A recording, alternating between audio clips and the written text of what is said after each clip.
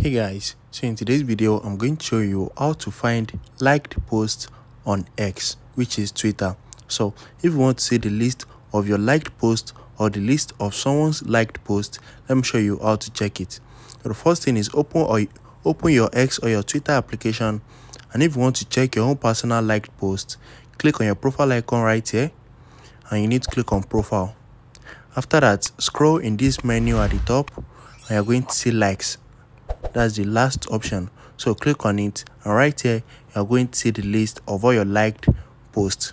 So if you want to check like posts for someone account just go to their profile.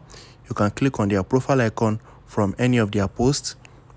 Scroll in this menu and look for likes. So this is where you are going to see their liked post. If you found this video helpful smash the like button and subscribe to my channel for more amazing videos like this. Thanks for watching guys